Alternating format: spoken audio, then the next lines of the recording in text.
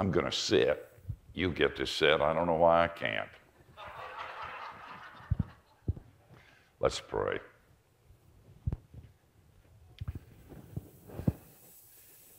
Father, we're here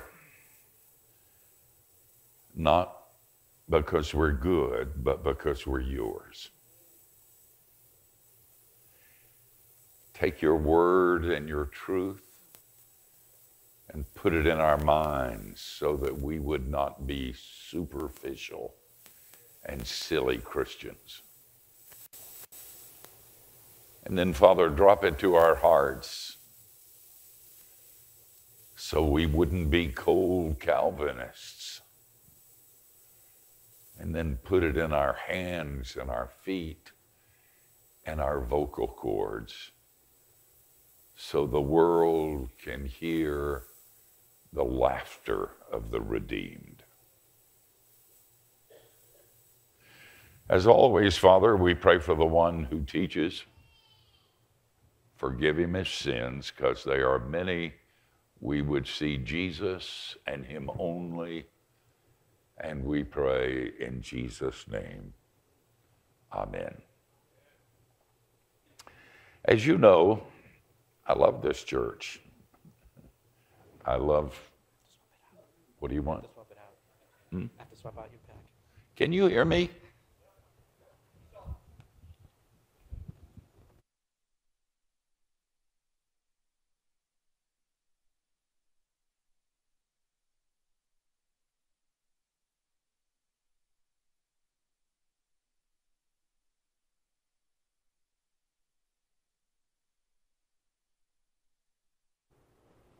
Testing.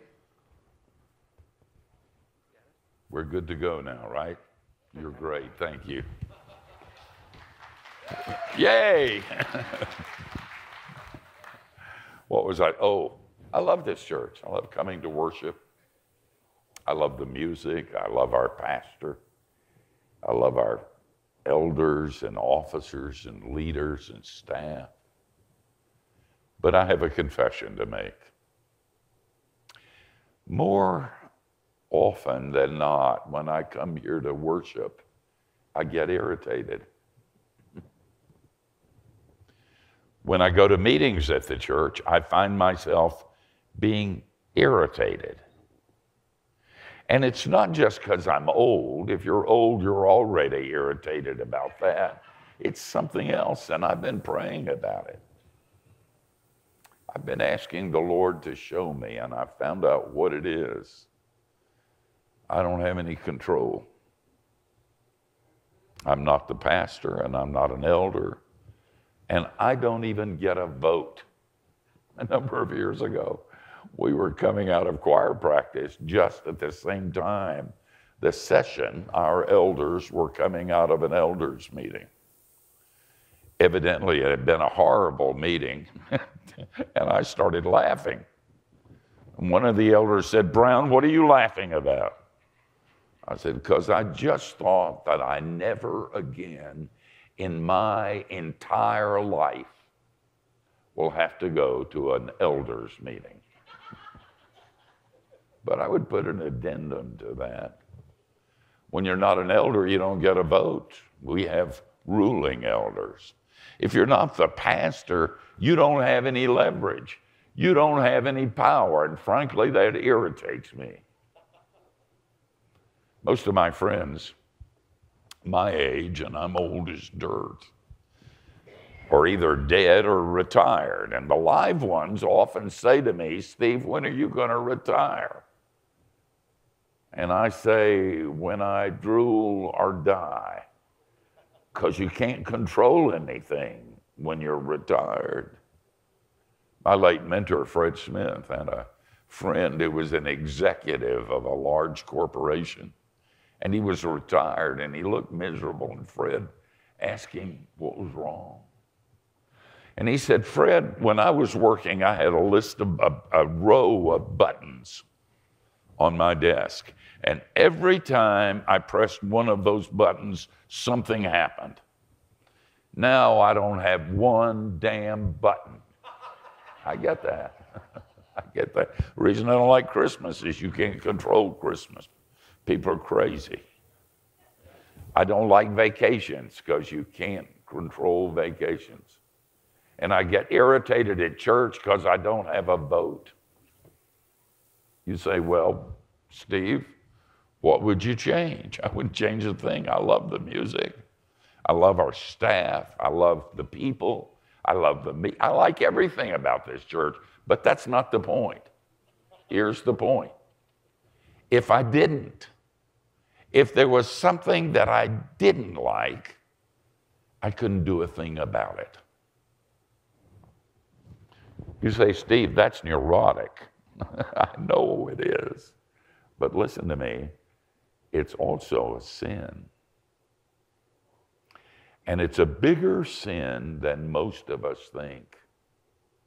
As I've been studying this week, I've realized that almost all of our shame, all of our insecurities, all of our guilt, all of our fear, all of our anxieties come from a need to control.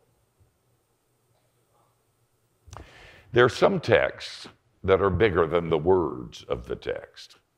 In other words, a particular text will address an issue, but as you read it, all kinds of things come to your mind, and you realize that you're being given principles that apply in a whole lot of areas.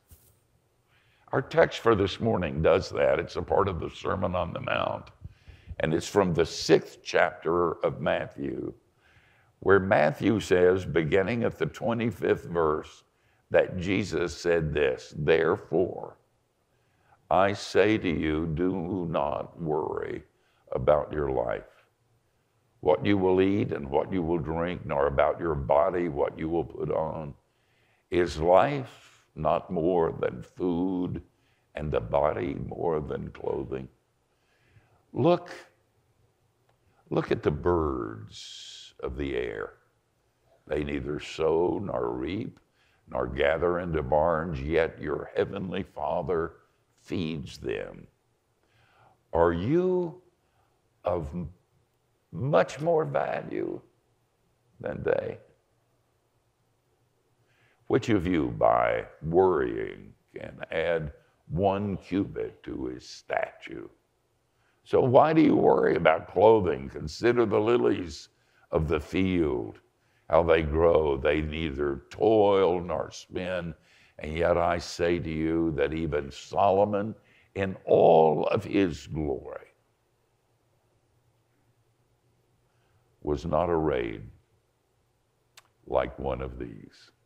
Now, if God so clothes the grass of the field, which today is and tomorrow is thrown into the oven, will he not much more clothe you, O you of little faith? Therefore, don't worry, saying, What shall we eat? Or what shall we drink? Or what shall we wear? For after all these things the Gentiles seek. For, for your heavenly Father knows that you need them all. But seek first the kingdom of God and his righteousness, and all these things shall be added to you. Therefore, don't worry about tomorrow, for tomorrow will worry about its own things. Sufficient for the day is its own trouble. Now, in just a minute, we're going to talk about control, but, but first, I want to go down a clarifying side road to make sure that you don't take what I'm going to teach you this morning wrong. One of the interesting things about Scripture is the passive aggressive teaching of Scripture. Some places, when you read the scripture, you realize that God is in the charge of everything. Romans 8 28. And all you have to do is to accept the gifts and be still and know. And in other places, Whatever your hand finds to do, do it with all of your mind. This one thing I do. It goes on and on, and it seems like a mix. Let me tell you what Spurgeon said.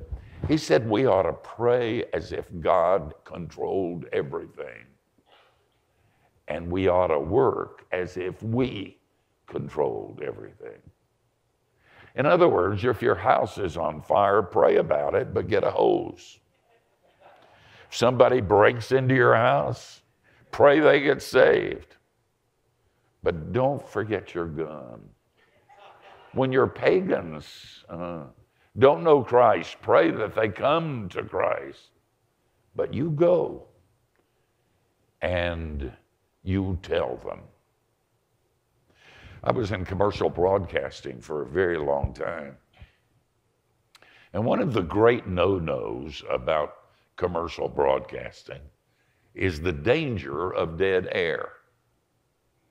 I can't tell you how often, when we didn't have anything to say or the air went dead, somebody, generally the manager or the program director, would say, Don't stand there do something, say something, create something. I don't have any news. I just shot the news director. now we do. And the Bible does the same thing. In the background is God sovereign over every molecule of our lives the good and the bad, the laughter and the tears, the pain and the joy, every bit of it. But when you have something to do, do it as best you can, and that's enough. All right, let's talk about control. This morning I'm going to teach you how to play poker and make some money, especially if you're a pagan. And if you're a Christian, I'm going to teach you something that will absolutely change your life. If you're old enough, you remember the old campus crusade for Christ. It's called Cru. And in the olden days, and they still have a version of it, there was a little yellow booklet called The Four Spiritual Laws. And God used that in an amazing way all over the world.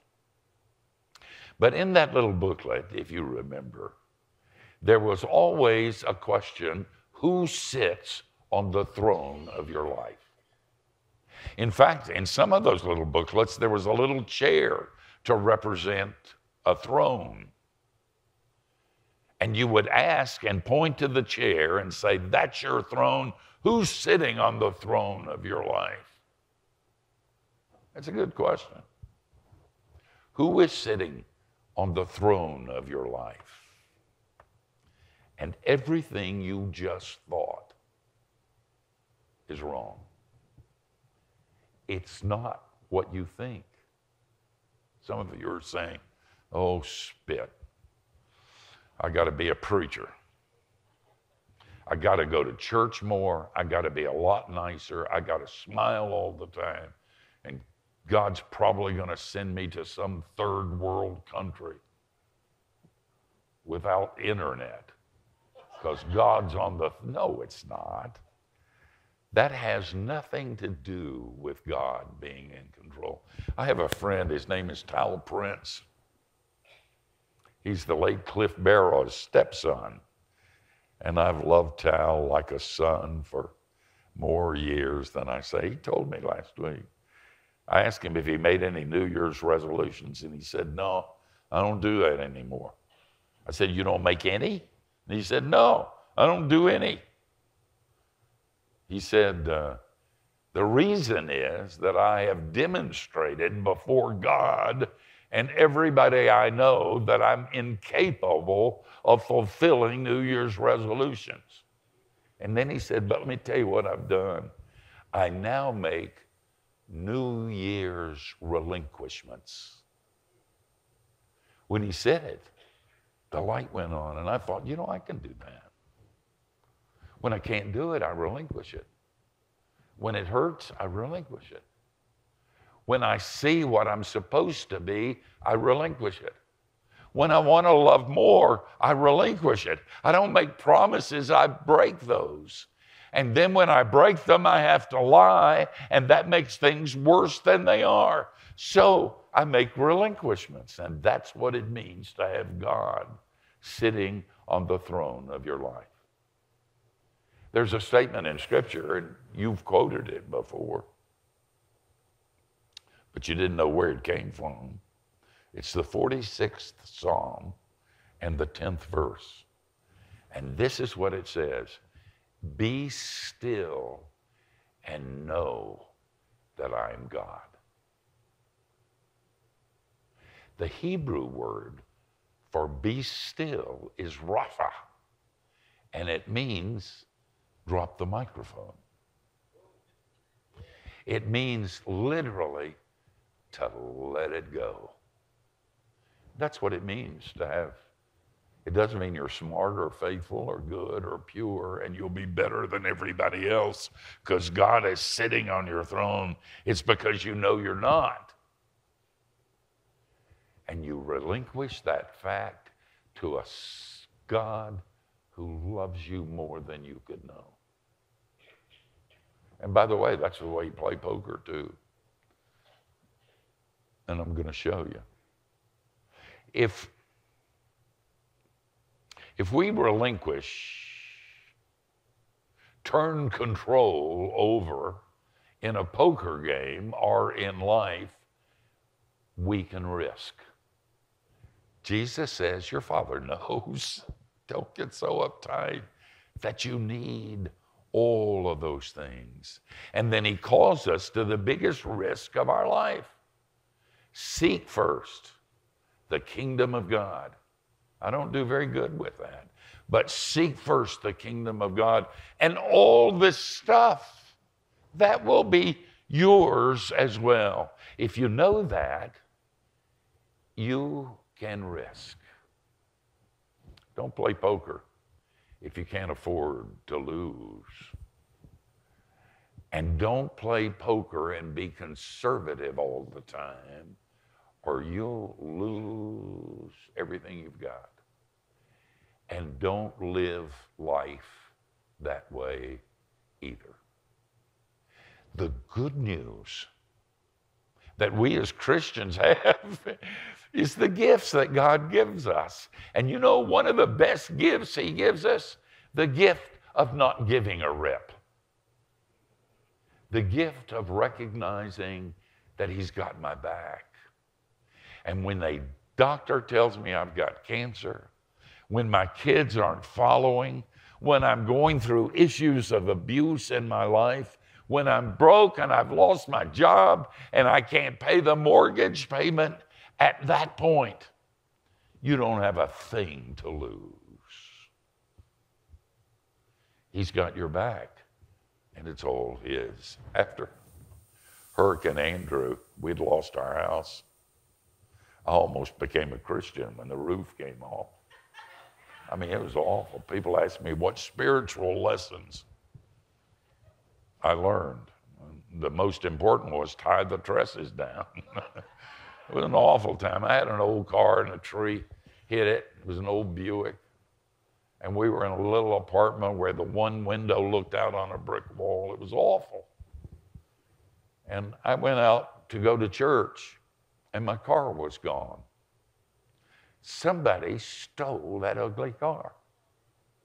I went back in and I said, Anna, somebody stole God's car.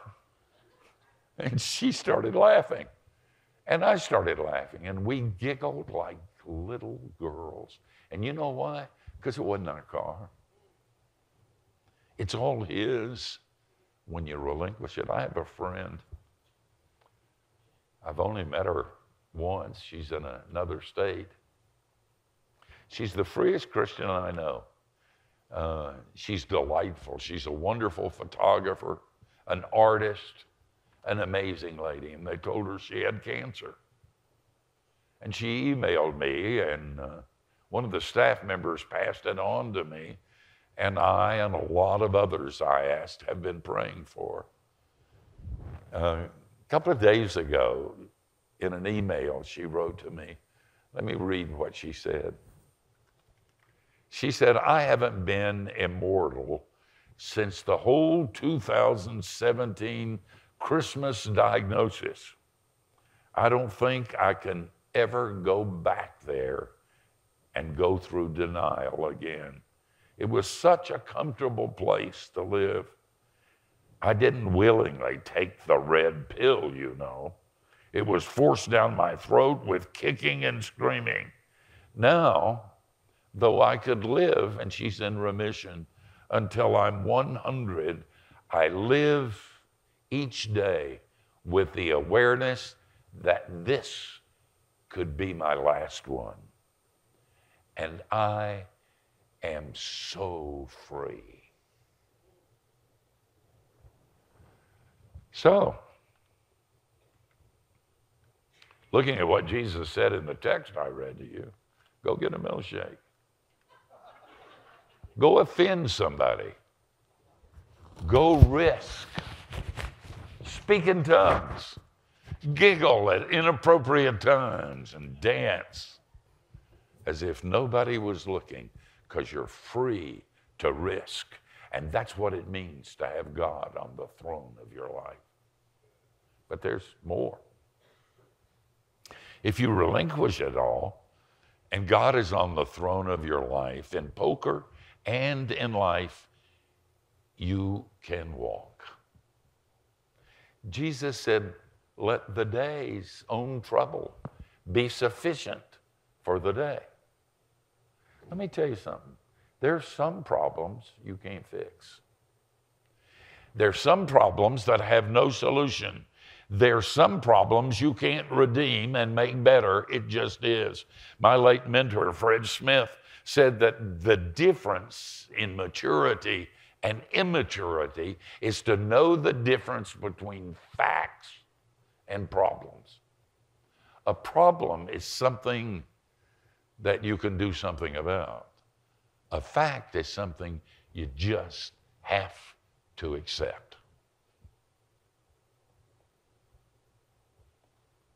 That great theological mind of our time and metaphysicist Kenny Rogers said it well. you got to know when to hold them. You got to know when to fold them. And you got to know when to walk away. I have a new doctor. And I love him. He's just great. Robert uh, Schamberger. Uh, he was giving me an initial physical exam. And he did what every doctor does when they're examining. He said, uh, Steve, you smoke?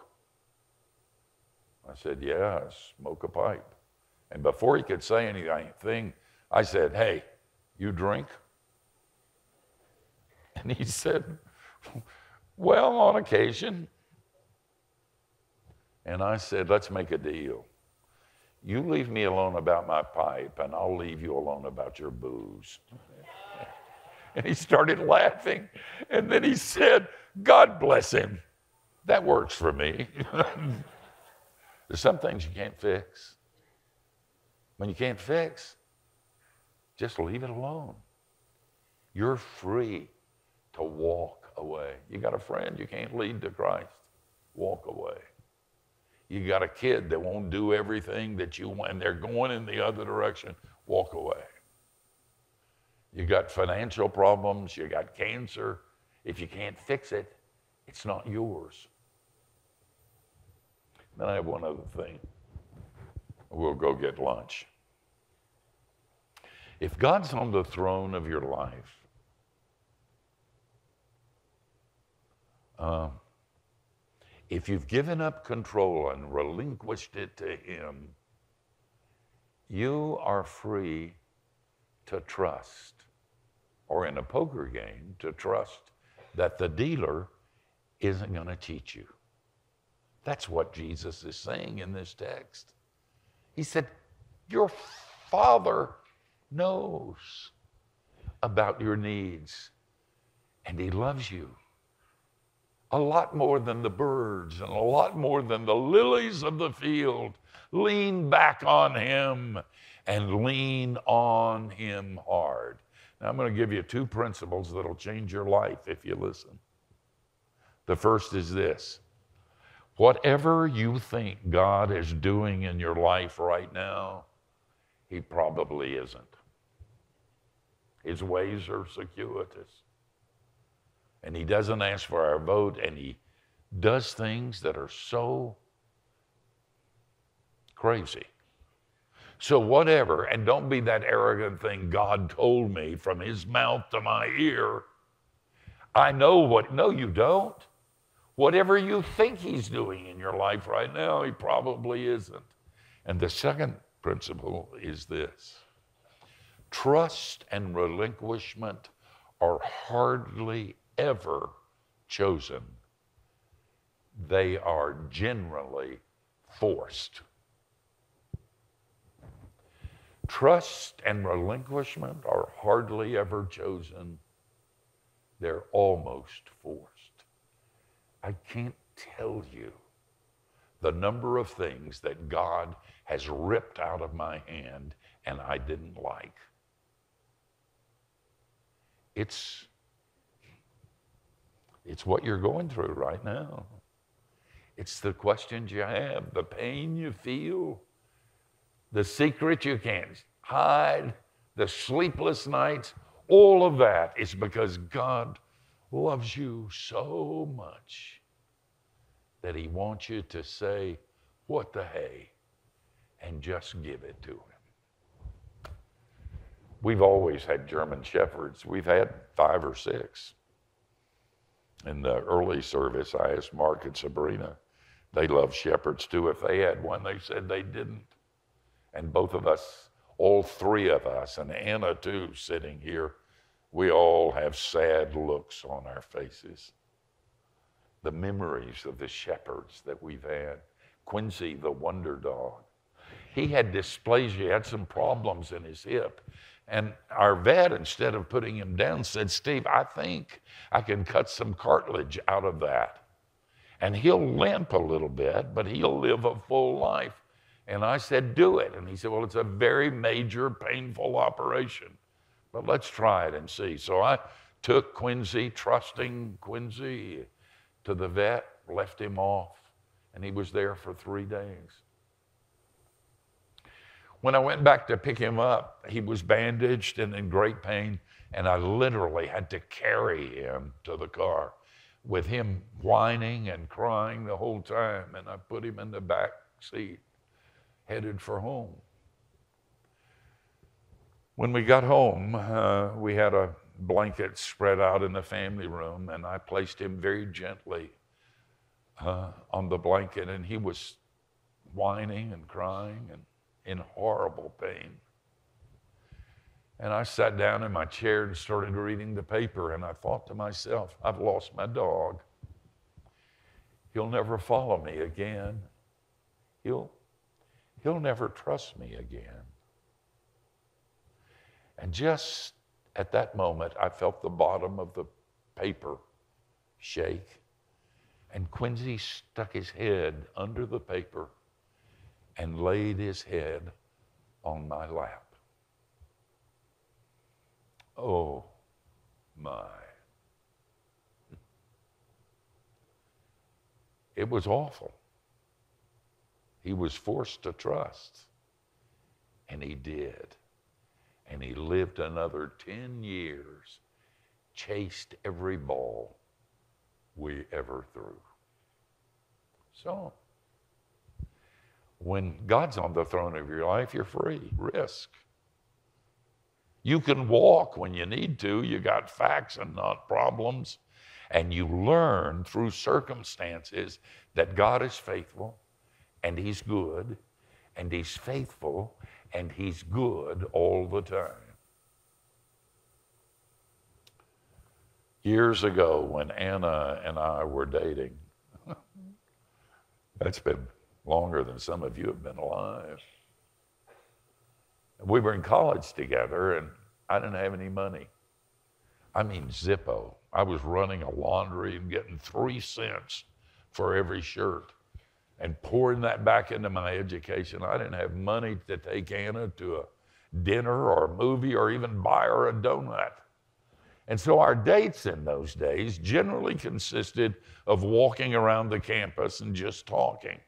And sometimes I would say to Anna, I hate this. I wish I had some money so we could go to a nice place for dinner or to a movie or a play or something. And she said to me then, and she said to me subsequently, exactly the same thing a great number of times. You know what she said? She laughed and said, Steve, I don't care where we go as long as I'm with you. What's God doing in your life? He's bringing you to that point. Trust Him. So you can say, God, I don't like this. And I don't. I told him this morning he could heal my hearing if he really loved me. I hate these hearing aids, and they, I just wear them for show anyway. But in that, in every doubt and every bit of pain and every dark place I walk, He's teaching me.